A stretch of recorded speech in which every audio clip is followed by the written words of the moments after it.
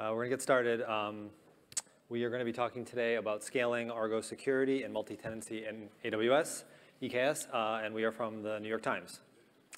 Uh, so my name is Dave Grizzanti. Uh, I'm a principal engineer at the Times. And I'm Luke Philips, a staff engineer with the New York Times. And uh, at the Times, uh, our mission is to build the essential subscription bundle for every English-speaking curious person who seeks to understand and engage with the world. Uh, we're a digital-first experience, leaning into technology to produce comprehensive news coverage. As an example, um, what being shown behind me of our co coverage of the Tulsa Race Massacre. Uh, and this particular story used machine learning to take historical records and create 3D spaces that you know, are being mapped on screen. You know, this specific story used a variety of microservices and data architecture to be able to map our news stories to this dynamic digital presentation.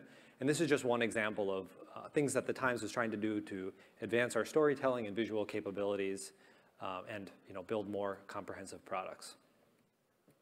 So today we're going to go over why we're building an internal developer platform at the Times, what Luke and I specifically work on within that, within that team, uh, how we're doing continuous delivery with Argo, an overview of multi-tenancy Argo architectures, how we're running Argo at the Times, some scaling challenges we faced, and some lessons learned. So I think for most people, what you may be familiar with at the Times is the news coverage. Uh, I'm sure people are familiar with Wordle, though, as well. Um, so there's a lot of other products within the Times kind of scope, right? Games, crossword, Wordle. Uh, but we also have a you know, very vibrant cooking website. Uh, the other platforms, Wirecutter and The Athletic, are also Times brands. And there's also a growing um, audio presence too with podcasting and, and a few other things. So there's a lot of you know, development and engineers at the Times who are building these, building these products and teams like ours that are supporting those engineers. So if you were a, you know, an engineer at the Times, application developer, you know, we really want you focusing on developing, developing software, developing stories like the visual one we showed you up there. But increasingly developers are being tasked with doing a lot more than just develop as you know, things quote unquote shift left. And they're responsible for you know, containerizing their applications, doing CI/CD, building them, testing them, dealing with uh, ingress routing, monitoring, and their lives have just gotten a lot more complicated. So part of what we're trying to do is pull back on some of that complexity so they can focus on uh, you know, making their lives easier and also letting them get back to adding value for customers. And in addition to the developers, we also have you know, folks in more of a DevOps SRE role that are responsible for running maybe Kubernetes platforms that these teams are deploying on now. And we kind of see a mix of how this may have worked in the past. You know, maybe they're using a cloud provider uh, to run something, but they might be running their own clusters one versus two. Um, everybody kind of was doing it you know, differently, uh, depending on the team. So what we really want to do is consolidate all of that down to a shared platform so feature teams could deploy their applications and not worry about you know, managing and maintaining and updating these. And this is really where our team, the delivery engineering team comes in that Luke and I are part of. You know, delivery engineering owns and manages these clusters uh, to allow teams to deploy. They offer distinct multi-tenant spaces within the clusters, and each team um, operates you know, separate from each other and has RBAC and security controls. And if we kind of zoom out to look at that, the whole big picture of this IDP we're building, we want an NYT engineer to be able to create, you know, kind of onboard to our platform, develop within some type of source control system like GitHub, uh, have CI/CD tools to build, test, and deploy to an AWS EKS environment, have some centralized ingress and routing for those applications, and then be able to monitor them. So this is something that, that our larger team, Delivery Engineering, is building. Um, Luke and I specifically kind of land in the uh, earlier parts of the diagram. Uh, some of our colleagues are talking about other pieces of this system, but Argo is really the thing we're here to, to talk about today, and uh, you know why we chose Argo as our CD tool of choice. Uh, so I'm going to hand it off to Luke uh, to talk a little bit about that. Thank you, Dave, uh, for the background on our developer platform. given our platform and architecture of orchestrated container workloads, or Kubernetes. Uh, obviously, the emerging best practices for continuous delivery are utilizing GitOps. After evaluating the landscape of tools available, we went with Argo CD. Uh, this helps facilitate our continuous delivery and GitOps patterns within our internal developer platform. Uh, some of the realized benefits of an internal developer platform, uh, having an alignment of your software development lifecycle streams, your CI and CD processes become reusable and repeatable. Uh, common tools and patterns, they improve velocity, quality, and support of software services. It allows uh, people like Dave and myself to scale our abilities as well. Um, and being that this is ArgoCon, I don't really need to belabor much more the CD benefits. Um, but part of our any discussion about security and scaling requires a review of the deployment architectures and what kind of choices you make around operating Argo CD itself. Um, so we want to give a quick review of uh, some of the published uh, architectures of Argo CD itself and which was just the right size for us. Uh, keep in mind that each example may fit better in your own use case. Um, starting off with a standalone model, each cluster has its own Argo instance. Uh, some of the uh, benefits of this is a reliability of uh, each cluster operates independently, isolation of concerns, better security, distribution of load per cluster. Uh, however, this creates a lot of complexity for management and updates, as well as complexity in providing user access. Um, this requires maintaining many instances and duplicating uh, configuration. Uh, so this was not quite the right size for us, but we liked a lot of the security benefits here. Uh, looking at some of the other options, you have your hub and spoke model, uh, single Argo instance to connect and deploy to many Kubernetes uh, instances. This is easy for management, um, creates a wonderful developer experience, one pane of glass to see all of your deployment applications um, simple disaster recovery and simple access usage. Uh, the challenges, though, is it is a single point of failure. Uh, scaling requires a lot more tuning of the individual components of Argo CD um, and the lack of isolation for security. Uh, so this was getting a lot closer to what we were looking for as far as uh, the developer experience. Um, and finally, uh, one other set of architectures you can consider are Argo instances per group, per logical group, or to split apart the components of Argo itself. Uh, some of the benefits here is a little better load distribution per group. An outage of one cluster won't affect every group, um, and credentials become a little more scoped per group. Uh, however, you still have the challenge of maintaining more instances of Argo and requiring um, a separate management, uh, sort of a separate management cluster. Uh, alternatively, you can split apart the components of Argo CD. Uh, there's an experimental open source project, uh, open cluster management tool that does this. Uh, though also a great uh, credit to some of this review and other architectural solutions that provide a better uh, support around the splitting of components is to check out the Akuity or CodeFresh products. however, for us, we were looking at just the open source solutions right now. Uh, so balancing the various pros and cons of the architectures we were looking at, uh, we really enjoyed the experience of one Argo to rule them all. Uh, we also have some smaller instances of Argo for our own testing and allows us to uh, sort of dynamically balance clusters if we need to. Uh, but right now, kind of one Argo to rule them all. We also balance the trade-offs of our strict security controls with CI governance and policies around our GitOps repos and measured separation of concerns for the various repos of config. Um, I'd also advise you to check out another talk later this week by some of our colleagues that will be going into greater detail about uh, the Git uh, security and policies we use there. Um, and so from here, I'll transition back to Dave, who will uh, go into more detail about how we're using Argo CD in this architecture. Thanks, Luke. So uh, I'm going to jump into Argo at the times and specifically how we have it deployed and some challenges we faced uh, fitting into our multi-tenant Kubernetes environment. So as Luke pointed out, uh, this is the model that we chose from the kind of available architectures that we kind of surveyed.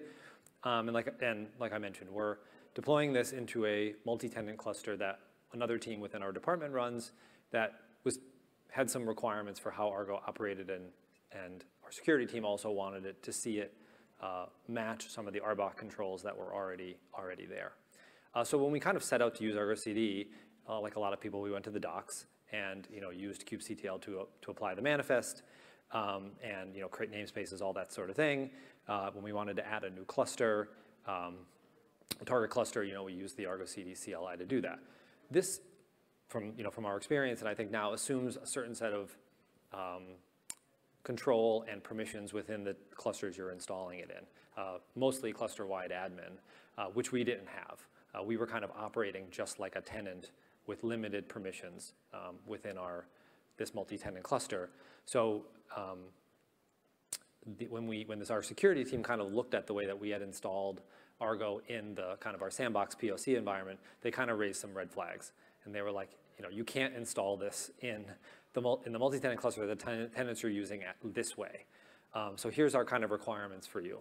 Um, you won't get any uh, cluster-wide admin access for the Argo installation.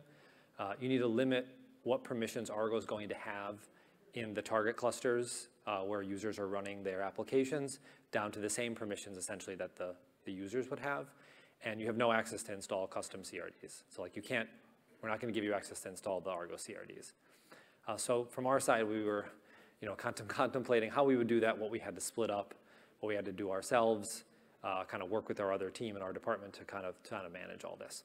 Uh, so this, so what we came up with was these kind of three things. So the first one was uh, bring your own RBAC. So we kind of separated the uh, installation of the CRDs and anything that would require uh, cluster admin uh, to the same workflow that was um, being used to install and set up the Kubernetes cluster in EKS. This allowed us to kind of keep all the CRDs and that, that stuff separate. Um, we customized the Argo CD Helm chart to also separate stuff out. Uh, so we pulled out the pieces that uh, could be run without this admin access. Um, we essentially just did that with like a bash script to circle over the stuff that we needed to separate out and, and uh, use the pieces that we needed. And then the last piece was, and this is the more interesting thing that I'm going to talk a little bit more about next, was how the, the role of the service account that lives in the target clusters functioned and what permissions it had. And what we, what we separated uh, was, um, you know, the traditional way that's done if you just follow the docs is it has um, like create, read, update, delete everything on all namespaces. So we made it so that that cluster-wide role only had essential, you know, essentially read permissions, and then we attached namespace-specific roles that matched what the tenants would have. So it kind of had one service account with a cluster role and then a role per uh, a role per namespace. So let's dig in a little bit on on how that how that what that looks like and how that works. Uh, so this is kind of a simplified diagram uh, showing the Argo CD lives in its own admin cluster, um, and this kind of operates on, on all of our environments, dev, stage, prod. Um, it looks at a set of Git repos uh, for um, the project and app files. And on the target clusters, there's that service account I mentioned, and it has the, the cluster um, role that essentially only has read. And then in each namespace, it has a role and a role binding that essentially mimics what each tenant is given. So Argo has the same permissions a tenant would over all of the applications um, within that namespace. And this worked out for us uh, better, I think, than we expected in the beginning. We were worried we weren't going to be able to kind of match the security requirements. So we were, uh, we were able to achieve that. Um, we didn't necessarily love this setup, though, because I think the more research we did, we realized we wanted to lean a little bit more into AWS IAM native, um, you know, security versus using a traditional Kubernetes model with you know, a, a service account and a token. Uh, so the next thing we kind of looked at was, could we lean into the AWS IAM model a bit more? Um, and after kind of reading through various AWS docs about um, identity mappings and blogs on Argo and how the kind of two could uh, match, um, this is kind of the, the model that we came up with and wanted to try to achieve. Uh, so this would translate the same cluster and namespace roles that I talked about but it would remove the need for the service account and the Kubernetes token. Uh, so let's go through how we, how we did this. So just a quick primer on AWS IAM for people who aren't familiar.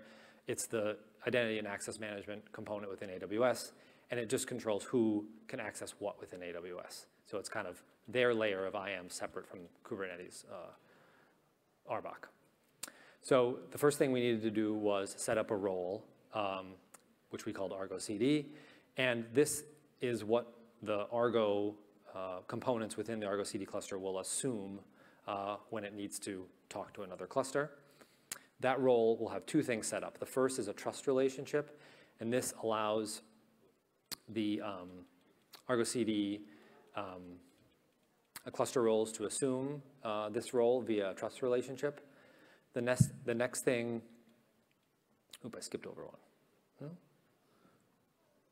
Oh, sorry, I didn't skip one. It's next slide. Uh, this is uh, doing the patch uh, within Kubernetes to let those um, uh, service accounts assume the role via an annotation.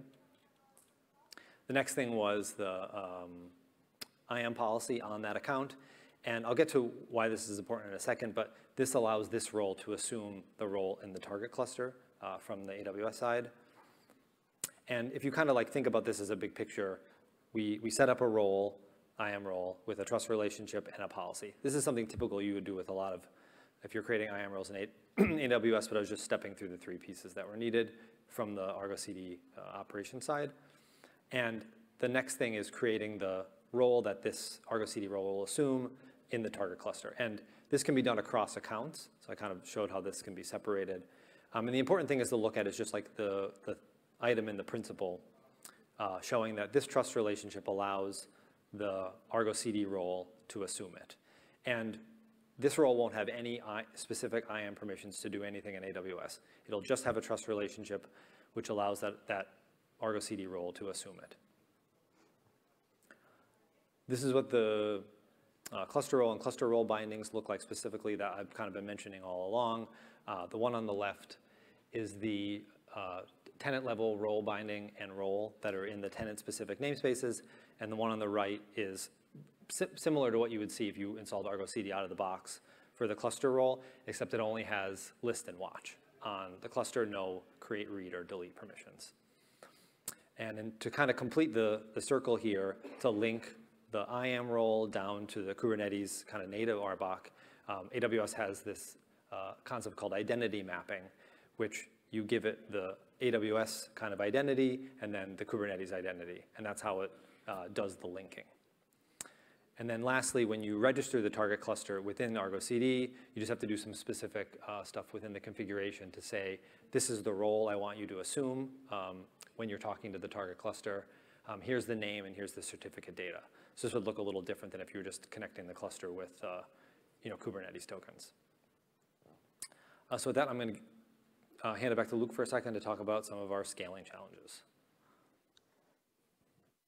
Uh, thank you, Dave. We'll take a quick look at the Argo components themselves.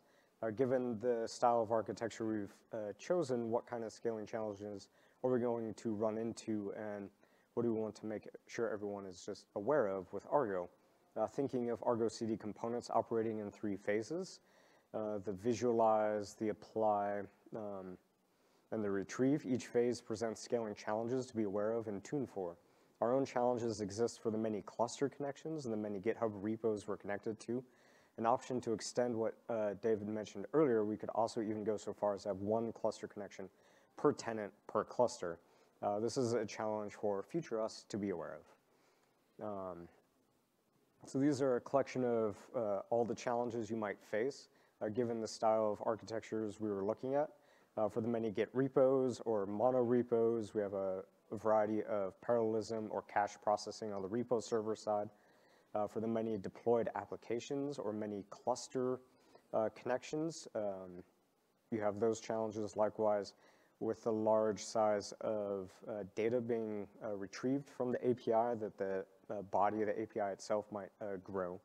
Um, and so to solve for these challenges, first we want to make sure we do thank the Argo community and the Helm chart project. Uh, be sure to check it out. They have uh, already tagged a lot of the out-of-the-box flags and values ready to be set in the chart, uh, so you have some tuning already available to you.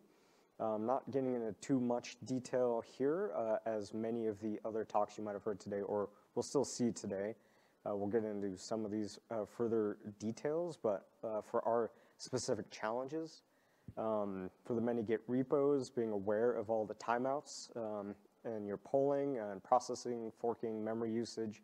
Uh, as we mentioned earlier, the, the part of monitoring of our platform to be constantly aware and seeing how Argo is growing and what kind of memory tuning you have to do for all of your infrastructure.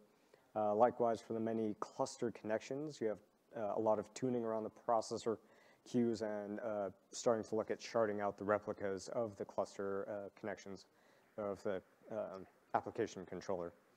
Um, and finally, for the API itself, really just watching the memory usage of that.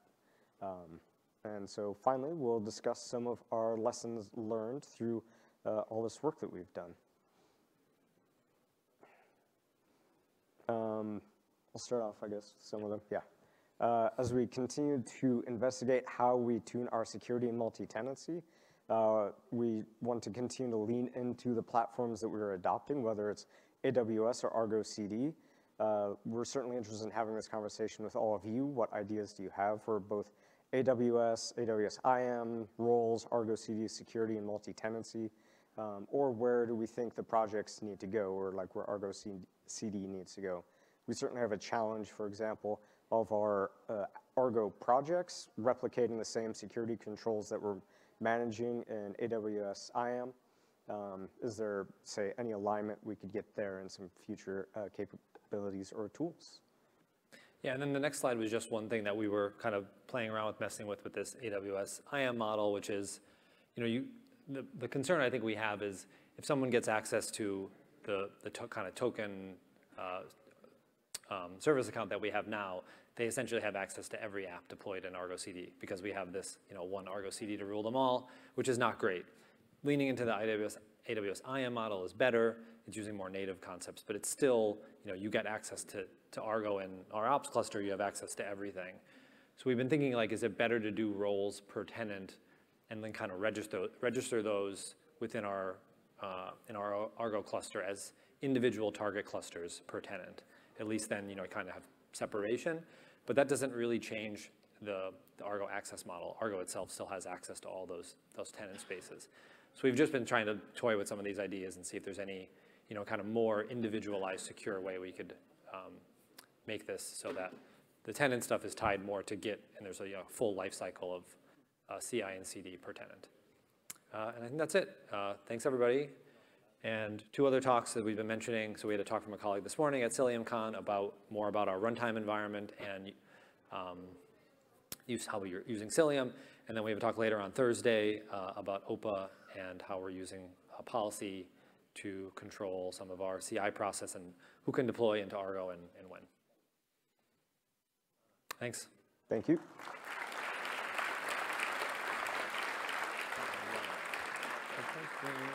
Uh, we have time for maybe one question. Questions?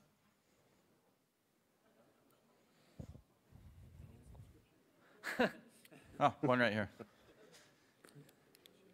What's today's Wordle? Yeah. Hello. Um, sorry. My question is related about the, I see you are using a one cluster with multiple tenants. Uh, what, what is the, how do you define uh, or how do you define the tenants?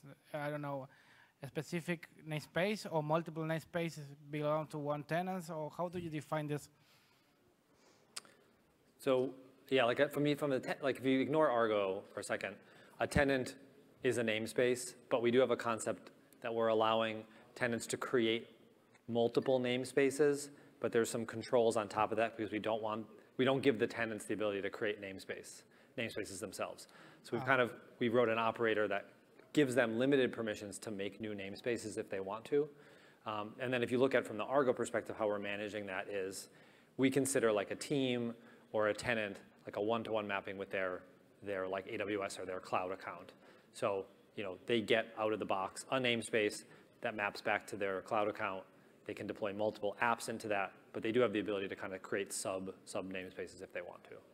And it's one, one Argo project per tenant, um, and then that maps to basically prefixed Okay. namespaces with their tenant name. Okay, thank you. Yep. Thank you very much. Give a clap.